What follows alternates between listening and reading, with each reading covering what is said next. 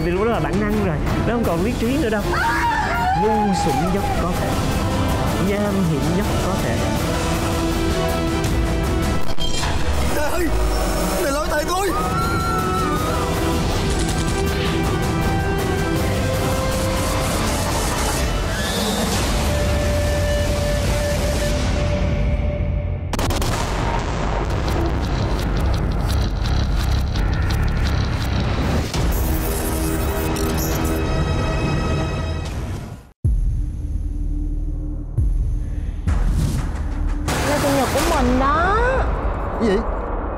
Nay sinh nhật của anh, anh cũng không nhớ nữa anh? Thiệt à. Hôm nay sinh nhật anh hả? Ừ. Ai biết đâu anh công việc lu bu quá sao nhớ được? Mà Cảm ơn em nhiều nha. Có gì đâu. Sao rồi? Bữa gài công việc em ổn không? Cũng bình thường. Gì hả? Đẹp quá. Lát về mình đi ăn kem nha. Ăn kem hả? Ê, Anh có cái quán kem này mới nha. Cực kỳ ngon luôn. Nha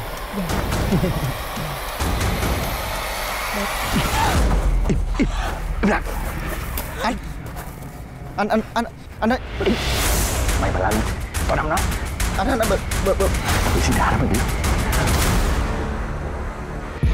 giờ giờ anh muốn gì? Đi. Dạ. Dạ dạ. Đây đây nè Còn cái đồng hồ. Tháo ra dạ. Đây đây đây anh. Bình bình tĩnh anh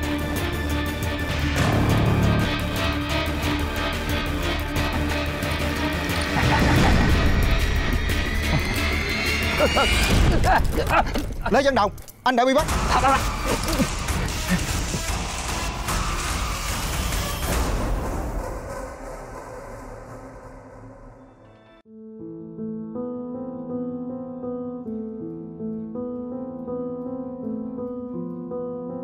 Sau 2 năm cải tạo về, Đồng đã thay đổi. Đồng quyết tâm tu chí làm ăn, không nề hà bất cứ việc gì miễn là kiếm được tiền. Sau một thời gian tích lũy, cuối cùng Đồng cũng có một số vốn để làm ăn. Vì sao đài vào những tệ nạn xã hội mà Đồng đã mất đi người con gái mình yêu thương nhất. Đồng hy vọng với cố gắng của mình, người yêu sẽ cảm động mà quay lại.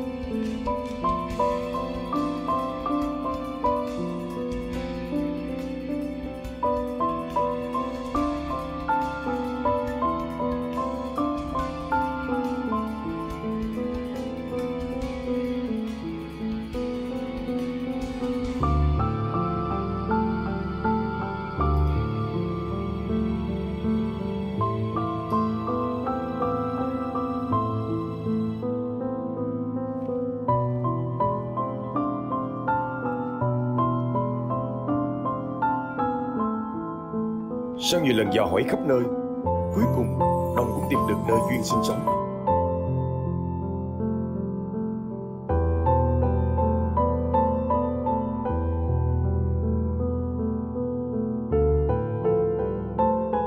Duyên?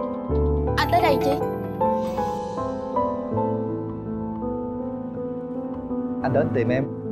Muộn rồi, tôi với anh không còn liên quan gì hết. Anh đừng tìm tôi nữa. Duyên Nghe em nói nè sự hai năm qua khi mất em anh rất là hối hận. Anh nhận thấy là mình không thể nào sống thiếu em được. Mình làm lại từ đầu nha em. Muộn rồi, bây giờ tôi đã có cuộc sống riêng. Anh đừng có tới phiền tôi. Anh đã cai nghiện rồi Với lại á anh cũng đã để dành được một số vốn để làm ăn. Làm ăn, trộm cắp, cướp của hay là trấn lột Anh giỏi mấy trò đó lắm mà. Không không không. Anh thề anh đã bỏ hết tất cả. Anh chỉ muốn làm lại từ đầu thôi. Em cho anh một cơ hội đi mà Duyên Tôi cho anh bao nhiêu cơ hội rồi. Con người anh hết thuốc chữa Anh đừng làm phiền tôi nữa. Duyên Anh mà còn làm phiền tôi Tôi báo công an đó.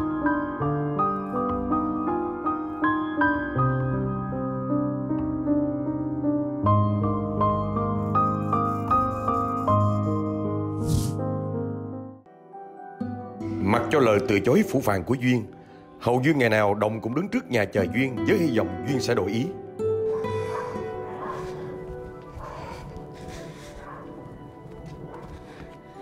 Sao anh cứ bám theo tôi hoài vậy.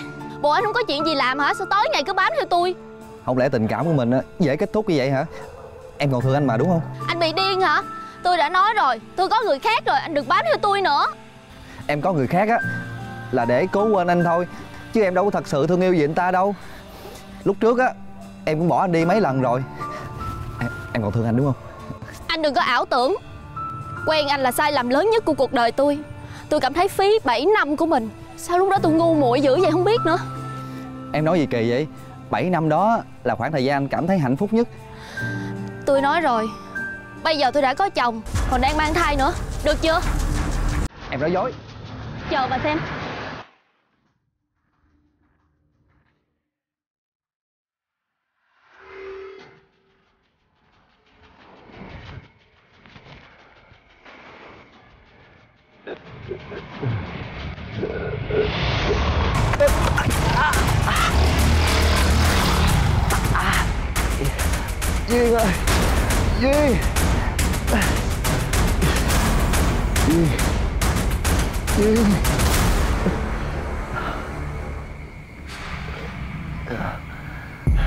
Duyên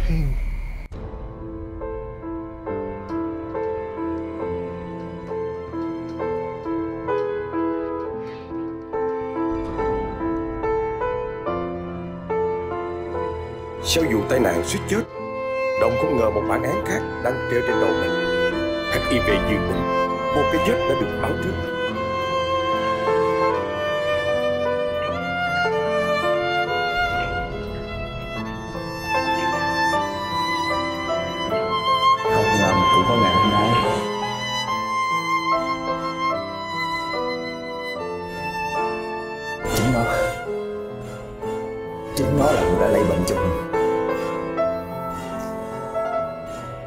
Mỗi lần chia tay là nó cặp hết thằng này tới thằng khác.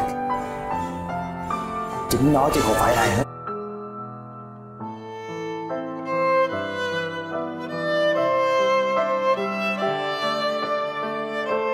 Chết. Thì hai đứa sẽ cùng chết.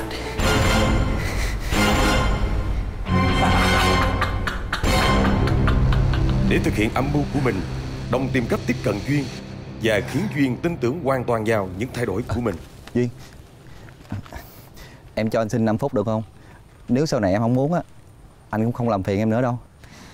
Anh muốn nói gì thì nói lẹ đi Tôi còn đi chợ nữa. Dạo này em làm gì? Đó không phải chuyện của anh Anh còn 4 phút 30 giây Nói lẹ. Anh hiểu ý em rồi. Ừ, Anh không có níu kéo gì chuyện tình cảm của mình đâu. Bây giờ á, anh cũng có công chuyện đàng hoàng rồi Với lại cũng mới mở cái sạp trái cây ngoài chợ. Em về phụ giúp anh một thời gian được không? Tôi không có hứng thú. Anh đi tìm người khác đi. Ở đây anh đâu quen biết ai đâu. Với lại anh cũng không đủ tin tưởng để giao cho họ. Em nghĩ chút tình xưa Về phụ anh đi. Vậy thì anh làm một mình anh đi. Anh vừa phải đi lấy hàng Rồi giao hàng Rồi phải trông coi cái sạp nữa. À, Thôi được rồi. Em không cần trả lời anh liền đâu. Ừ, Em cứ về suy nghĩ đi Rồi mấy ngày sau anh quay lại. Cũng đang gặp khó khăn về tài chính Và chuẩn bị cho đứa con sắp chào đời. Duyên không thể ngờ mình đã rơi vào cái bẫy tinh vi do đồng văn ra Để trả thù Duyên một cách bài bản đến như vậy. Ủa dạ em chưa ngủ nữa hả? Vậy chưa. Ờ, Anh nè Em có người bạn á, sắp mở sạp trái cây gần nhà mình Kêu em qua phụ làm. Anh thấy em làm được không? Em đang bầu bì như vậy rồi có làm được hay không Chứ anh thấy mấy giỏ trái cây nặng lắm á. Em á chỉ làm sổ sách với bán hàng thôi Còn mấy chuyện nặng nhọc có người lo hết rồi. Đi làm chứ ở nhà hoài chán quá à. Với lại á em kiếm thêm ít tiền Mai mốt còn lo cho con nữa. Thôi được rồi. Nếu mà em muốn á Thì đi làm thử vài ngày coi sao. Cảm thấy cực quá thì nghỉ ở nhà nha. Ừ em biết rồi. Chứ mấy lần trước á em xin anh đi làm Lúc nào anh cũng bắt em ở nhà hết Để anh coi á làm thêm công việc.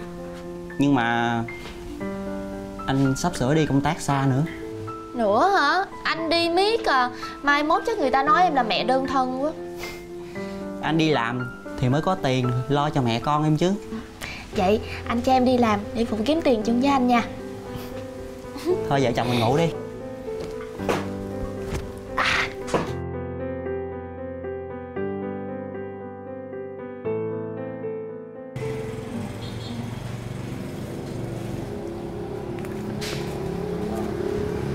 Em.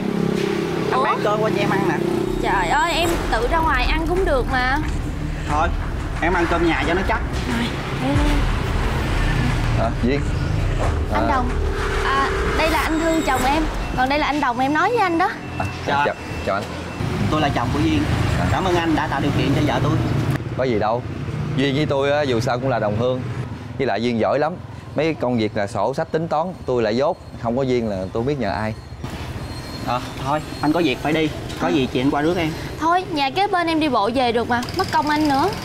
Anh nói là chị anh qua rước em mà. Vậy nha. Ừ. Tôi đi trước. Chào anh. Anh đi cẩn thận đó.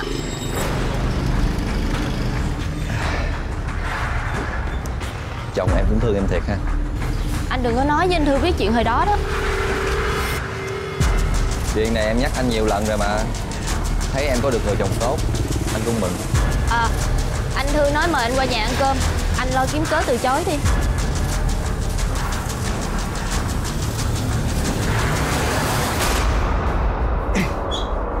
Căm hận sự phản bội của Duyên. Đồng lúc nào cũng bị ám ảnh với ý nghĩ. Chính Duyên là người đã lây căn bệnh thế kỷ HIV oan nghiệt cho mình.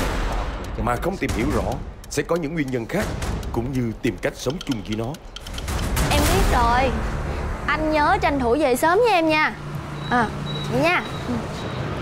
Duyên À. sao mấy ngày hôm nay á, anh không thấy chồng em đến đón em? À, Anh đi công trình rồi hai bữa nữa anh mới về. Vậy là em ở nhà một mình hả? Có sợ không? Anh đi suốt à Em quen rồi. À, ờ, anh tính ờ, đi xem mấy loại trái cây mới để đem về bán nhưng mà giá lại hơi cao cho nên ờ, tính hỏi ý kiến em. Rồi ờ, không biết em có rảnh để đi coi với anh không? À vậy để em đi chung với anh Em cũng đang rảnh mà vậy anh cảm ơn em nha. Tối nay anh sẽ đến nhà trước. Ừ, Em biết rồi. Thôi để em làm việc tiếp nha. Sau một thời gian làm cho Đồng Thấy Đồng hoàn toàn không nhắc gì đến chuyện cũ. Duyên cũng yên tâm không còn đề phòng Đồng Như khi mới gặp lại nữa. Anh quên mang tiền rồi. Ờ, Em có đem theo tiền nè. Mình đặt cọc tiền hàng cho người ta nhiều lắm. Tiền của em chắc không đủ đâu. Số tiền mà anh để dành anh từng nói cho em biết á anh bỏ ở phòng trọ. Ở phòng trọ anh cũng gần đây. Hay là mình về mình lấy nhanh lắm. à, Ừ, ừ, Vậy cũng được. Đi nha.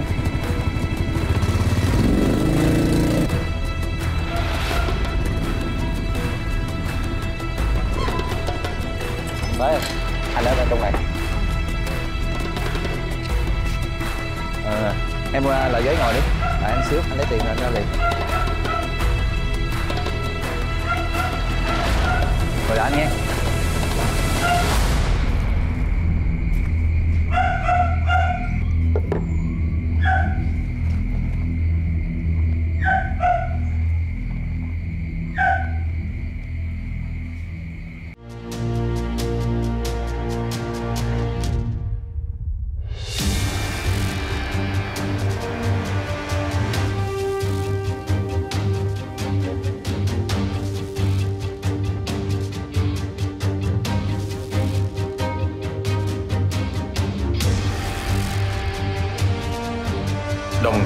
Nhiều công sức và thời gian Để thuyết phục và tạo thiện cảm với Duyên. Duyên đã cảm thấy hạnh phúc và may mắn Khi vẫn giữ được mối quan hệ tốt đẹp với anh Nhưng chuyện gì đến Rồi sẽ đến. Ờ, Có tiền rồi hả anh? À, ờ, anh quên nói với em là số tiền mà anh để dành á Anh cho thằng bạn mượn. Anh mới gọi điện thoại á, kêu đem qua trả cho anh. Chịu khó đợi một chút nha. Lâu không anh? Ờ, Chừng 10 phút mà. Nó nói là nó gần qua tới rồi. Dạ Em uống nước đi. Nước xong anh tự nấu á. Em cảm ơn.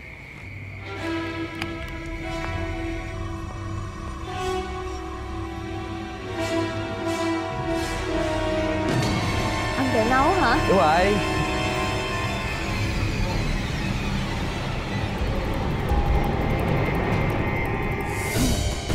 Uống nữa đi. Bạn em tới chưa? Anh gọi thử á ờ, Thì anh vừa mới gọi Nó nói là gần tới rồi. Chịu khó đợi chút đi không sao đâu.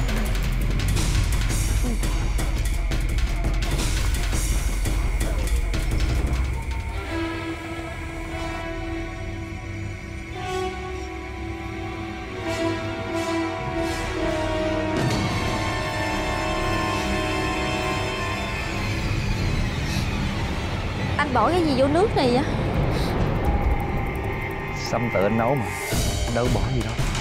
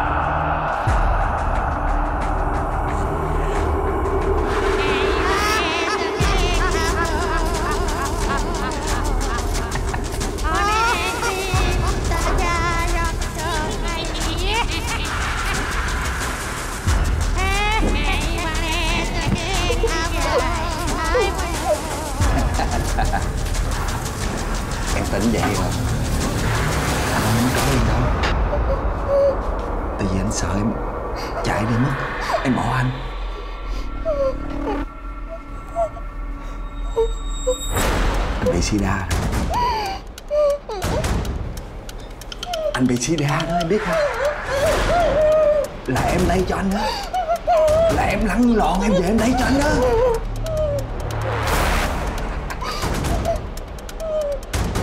Anh muốn chết một mình.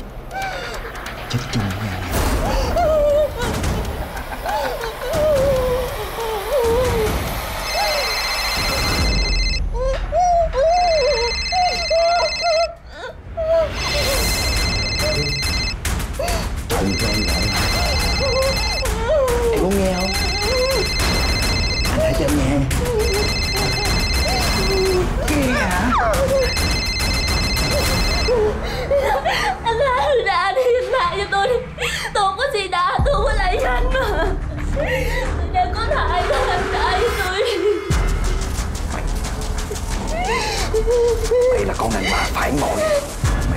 cho tao. Chết. Mày đáng chết.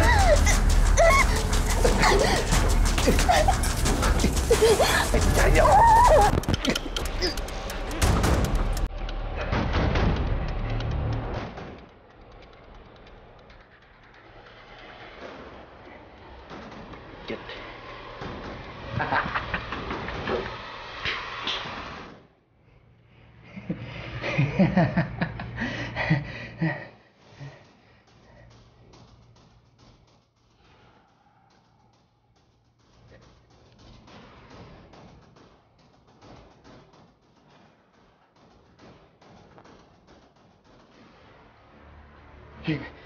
Duyên Tỉnh lại đi Duyên Duyên à, Anh không muốn giết em không Duyên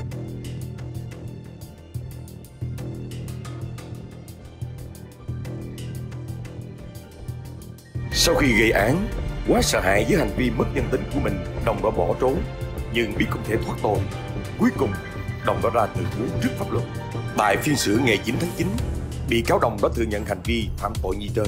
Hội đồng xét xử cho rằng hành vi phạm tội của bị cáo Đồng thể hiện sự coi thường pháp luật, đặc biệt nguy hiểm đối với xã hội.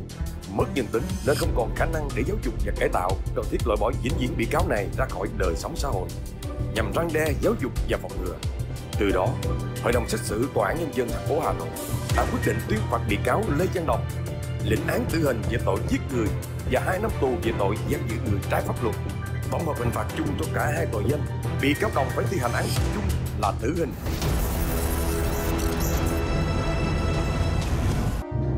Anh á là sai lầm lớn nhất của cuộc đời tôi. Tôi cảm thấy phí 7 năm của mình. Sao lúc đó tôi ngu muội dữ vậy không biết nữa? Em nói gì kỳ vậy? 7 năm đó là khoảng thời gian anh cảm thấy hạnh phúc nhất. Tôi nói rồi. Bây giờ tôi đã có chồng Còn đang mang thai nữa. Được chưa? Em nói dối. Chờ mà xem. Anh Đồng à Chúng ta đã chấm Mặc dứt dù vẫn còn yêu. Duyên rất nhiều và mong Duyên quay lại với mình, Bây giờ tôi đã có chồng. nhưng nếu Duyên đã có người mới, thật lòng mong muốn chấm dứt chuyện cũ. Đồng Anh chấp nhận buông tay, để hai người có lối đi riêng. Anh xin lỗi em. Coi như là do anh nông nổi. Anh không ngờ Chỉ mới 2 năm thôi Mà mọi thứ thay đổi nhanh đến như vậy. Em đừng lo. Anh sẽ không đến tìm em nữa. Anh sẽ cố gắng đi quên em.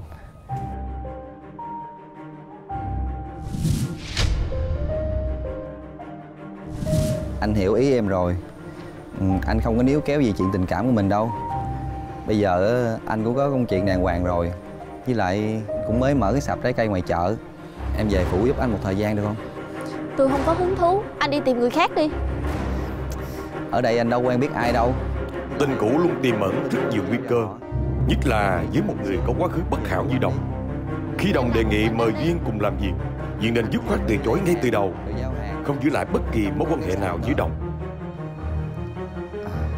Thôi được rồi, Em không cần trả lời anh liền đâu. Ừ, em cứ về suy nghĩ đi.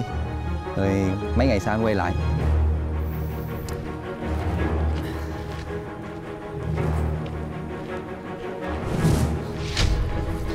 Anh còn phải đi lấy hàng, Giao hàng, Rồi bỏ cái sạp trái cây cho ai coi. Anh đâu đủ tin tưởng mà giao cho người ta. Ừ, thôi, Em không cần trả lời anh liền đâu. Cứ suy nghĩ đi, Rồi mấy ngày sau anh quay lại. Anh không cần phải quay lại đâu. Tôi không muốn có bất kỳ liên quan hay dính dáng gì tới anh nữa.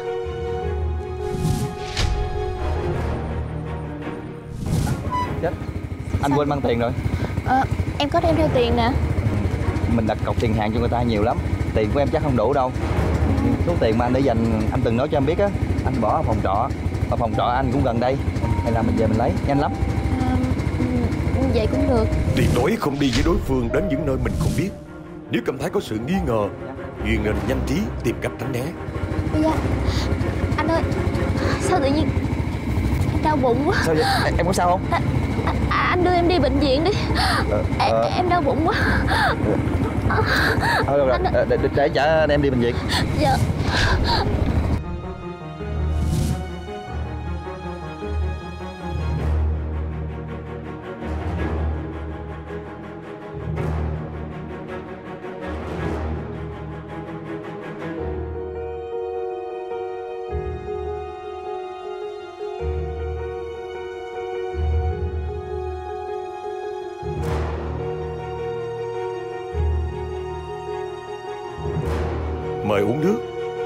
chiêu thức rất quen thuộc mà kẻ gian thường hay lợi dụng khi muốn bỏ thuốc phụ nữ.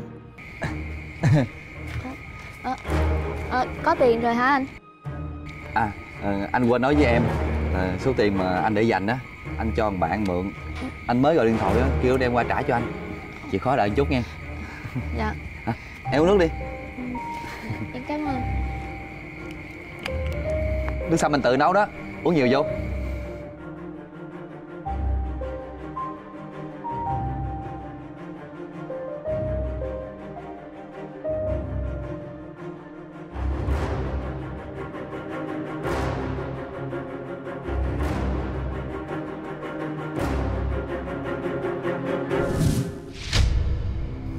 Khi đến nơi xa lạ, tuyệt đối không nên ăn uống gì. Cảm ơn anh Em không có khác Ừ, Uống đi có sao đâu Tự anh nấu mà Dạ được rồi Chúc em uống